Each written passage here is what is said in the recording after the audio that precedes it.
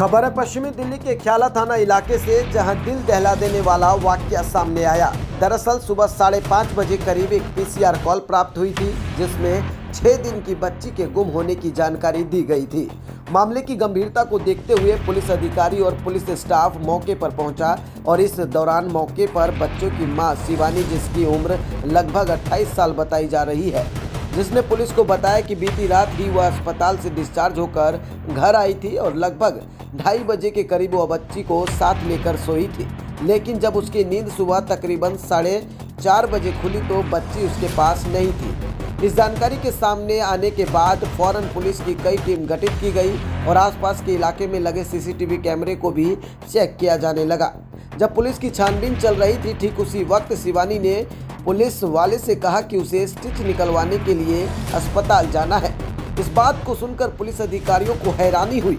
लेकिन बीमारी की बात सुनकर पुलिस ने बच्ची की माँ शिवानी को जाने दिया। इस दौरान पुलिस आसपास के छत पर भी जाँच कर रही थी। तो इस घर के ठीक बगल वाली छत जो मकान एक मंजिला बना हुआ है, उस पर पुलिस को एक बैग दिखा।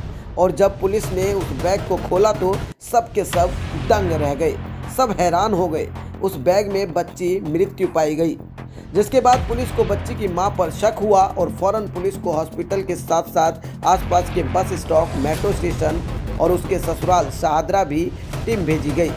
उदाहरण ये रहा कि महिला पुलिस के हाथ आ गई और जब पुलिस ने उसे सख्ती से पूछताछ की तो उसने अपनी ही बच्ची की हत्या की बात कबूल कर ली। पूछताछ में उसने जो पुलिस को बताया, वो काफ़ी चौंकाने वाला था। उसने बताया कि यह उसकी चौथी लड़की थी, जिसमें से दो पहले ही मर चुकी है। और लगातार बच्ची होने की वजह से समाज में उसे काफ़ी कुछ सुनने को मिल रहा था। और उसने भी बताया कि जब वह बच्ची को रात में दूध पिला रही थी तो इस बात से उसे काफ़ी दिलानी हो रही थी और इसके बाद उसने बच्ची का गला घोट दिया और एक थैली में डालकर उसे बगल वाली छत पर फेंक दिया। इस बात की जानकारी उसने घर के किसी सदस्य को नहीं दी। पुलिस ने इस मामले में हत्या का मामला दर्ज कर लिया है। फ़िलहाल बच्ची का पोस्टमार्टम कराकर हत्या की और पुख्ता वजह का पता लगा रही है पश्चिमी दिल्ली की पुलिस। मेरा नाम बिनी सिंह जी हमें सुबह चार बजे के करीब लगभग बर- पता चला था। चार बजे के करीब पता चला था कि भी ऐसे ऐसे इसकी गुड़िया चोरी हो गई है। हमें तो इतना बताया था कि भी चोरी हो गई है। तो हम सब ढूंढ रहे थे तो उसके बाद इन्होंने सौ नंबर पर कॉल करके पुलिस को बुलाया सुबह चार बजे। रो रही थी। चीख रही थी तो भाई मेरी बच्ची चोरी हो गई मेरी बच्ची चोरी हो गई वो ये था। कुछ देर बाद बाद में पता चला कि भाई गुड़िया का सब मिला यहाँ पे तो उसी इधर फेंका था। सुबह हाँ बगल में। हमने देखा नहीं था सर, हमें तो बाद में सुबह जब चारना हुआ तब दिखा। पुलिस ले गई थी। हाँ जी।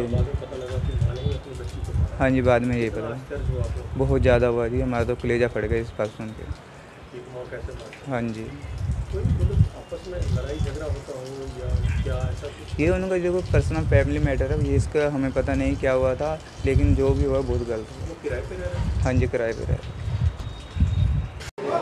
अपना नाम बता दीजिए। उस्मान मेरा नाम है। उस्मान जी आप ही के ऊपर वाले फ्लोर में वो रहते थे? पाँचवीं पर तो कैसे पता लगा?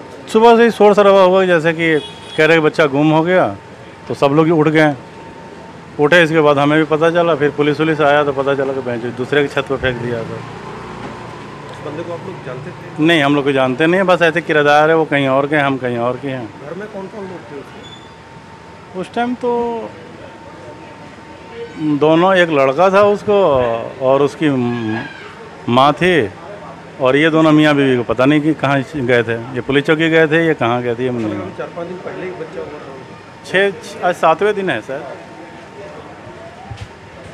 लोगों को जब पुलिस आई तब पता लगा? हाँ पुलिस आई तब। तो पुल, नहीं पुलिस से पहले पता लगा जैसे कि मतलब कि बच्चा किडनैप हो गया चोरी हो गया। हाँ तो फिर शोर शराबा हुआ तो पता चला कि वो बच्चे को लोग मार दिए हैं। बिल्कुल। आप लोगों के लिए जब ये सुने तो कितनी हैरानी बहुत दुख की बात है। ऐसा नहीं होना चाहिए। आप लोगों ने फिर देखा भी था बगल वाली छत? नहीं पुलिस वाले फिर देखने नहीं गए। मंडी में काम करते फिर अपने चले गए। मीडिया इंडस्ट्री में एक ऐसा नाम जिसे हर कोई जानता है।